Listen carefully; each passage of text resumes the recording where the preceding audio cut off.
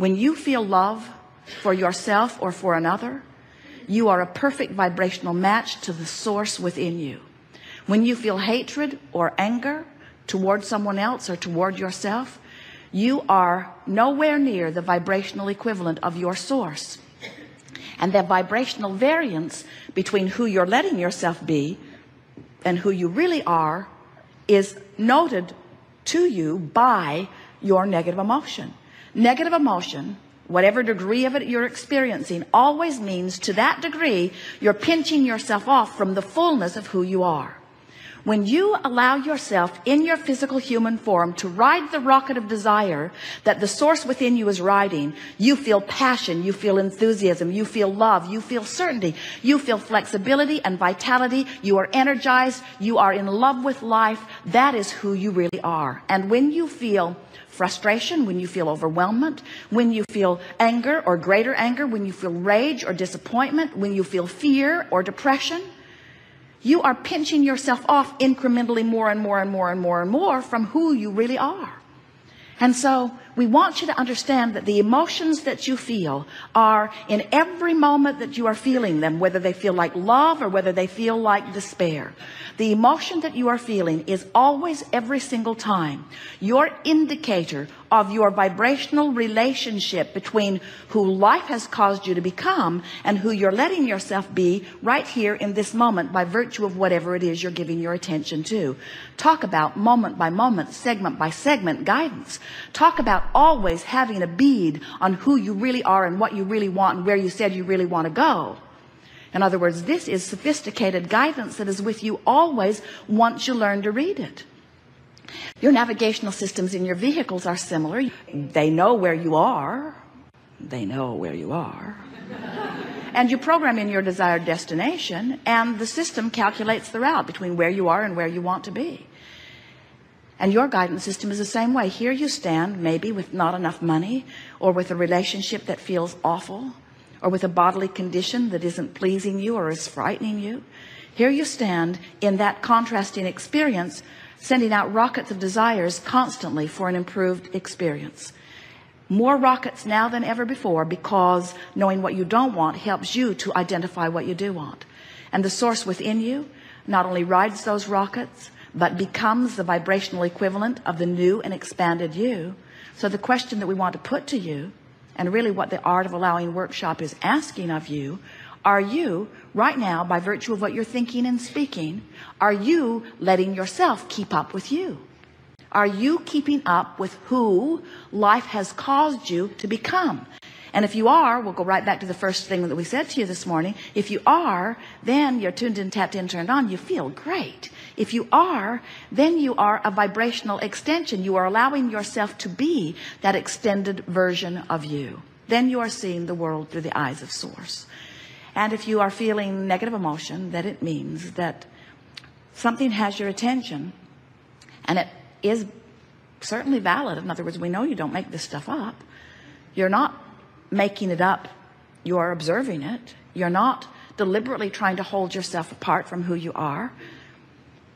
But anytime you feel negative emotion you are nevertheless doing exactly that. You're holding yourself apart from who you are. So what we're suggesting is that rather than letting an unwanted event train your vortex train your vibration away from the vortex train your vibration into compliance with unwanted things where you just sort of go along with it because it's happening. We want you to be aware that you have the power of focus. And we want you to be aware that when you know what you don't want a little bit you put its equivalent in your vortex. So when you sort of don't want something you sort of want something and that sort of wanted thing goes into your vortex it's equivalent. It's the specifics of what you do want are equivalent to the specifics of what you don't want and other way around. So by the time you've built something into this pathway of what you really don't want you have without knowing it constructed a really specific what you do want over here in your vortex of creation. We call this vortex of creation it's the bounce and the holding place where the evolved version of you is held in vibrational readiness for your attention to it. It's there. Now if you're talking about manifestations, then you're probably not all that interested in these vibrational thought ways that have been carved out. But we want you to understand that the vibrational thought way that you've carved out is going to manifest depending upon where you eventually light in terms of your vibrational readiness. So we want to say to you, you can let unwanted things train your vibration into a match with what you don't want and law of attraction will show you the evidence of where you are.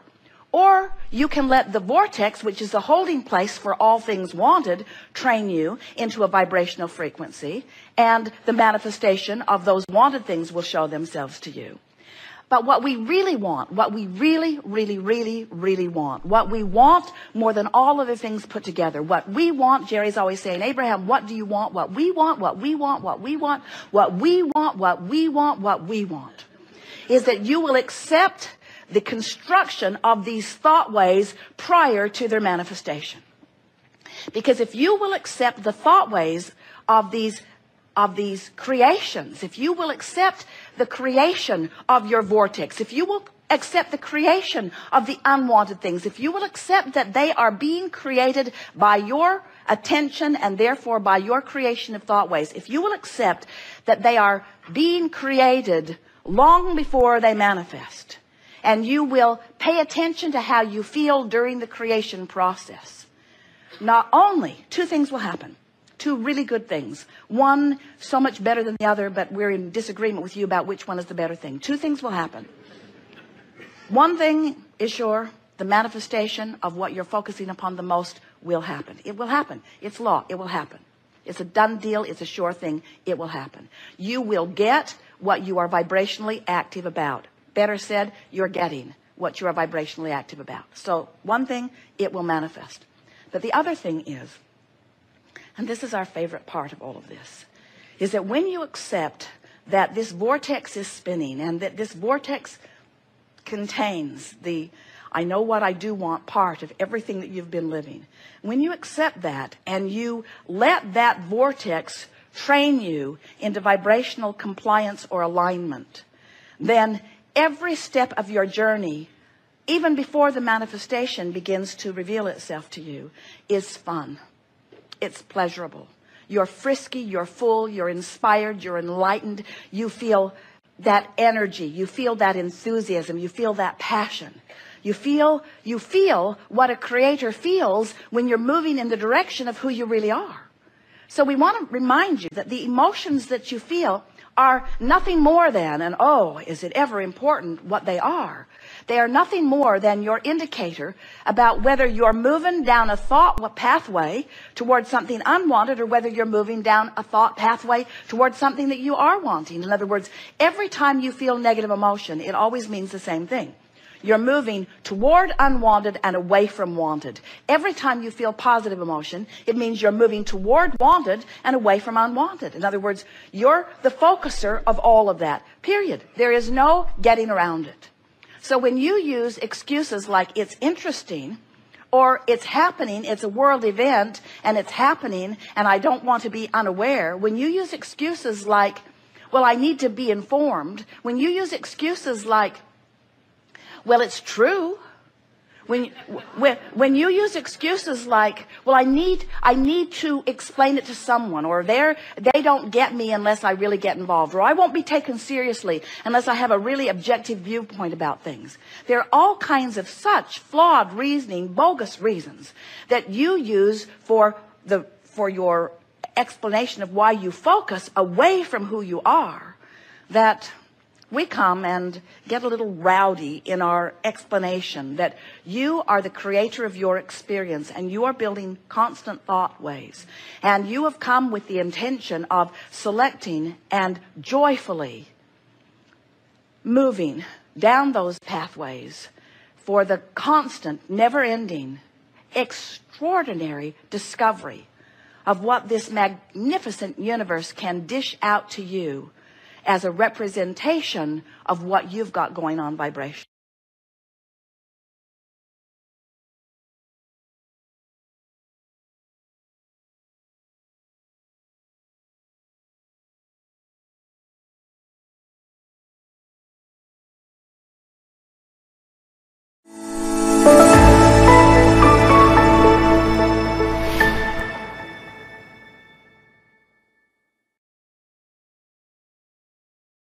how do I want and not and kind of leave it alone so that whatever I want comes to me. By feeling worthy. Okay. Because when you want it and expect it, then it must be.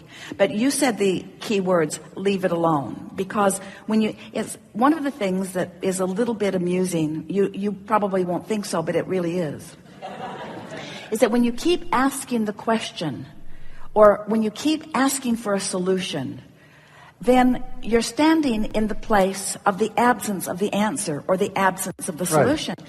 So if you keep that alive in your vibration, where is it? Why doesn't it come? I really want, then the answer or the solution can't come because they're different frequencies. So leaving it alone really is the key. In other words, you've already asked for it. Now get on to other things and allow it to come. Don't just, don't keep the absence of it alive in your vibration.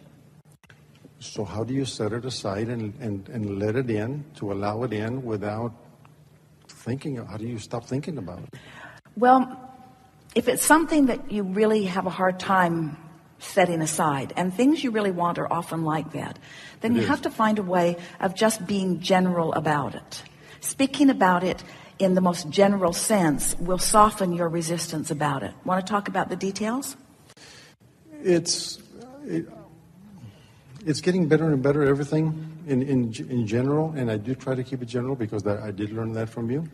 Um, I don't really well, have anything. You either specific. have to change the subject, but the thing is, everything, we were talking earlier about the momentum. So if you have a need that hasn't been filled, and the need is really raw to you. It's something that you really, really, really, really want. But you want it, you're yearning for it. You want it from that place of not having it you're slowing it down because that vibration is so active. It's keeping it's keeping you from being a vibrational match to your vortex and it's it's preventing it's like your vortex is here and you're here and it can't flow in. You've got to do something to raise that vibration.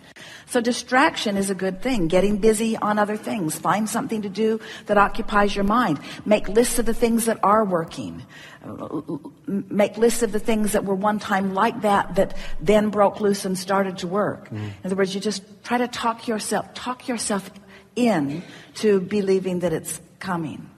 Going general really is a good tool. Things do work out for me, and there have been things that I've wanted that weren't there and then came later. Um, in time, it will come. I don't need to. I don't need to worry about this. It's just a matter of of allowing. I'm I'm really doing a good job. That kind of thing. And then distraction through meditation is another really good tool. We think that meditation is not utilized by humans in the productive, effective way that it could be.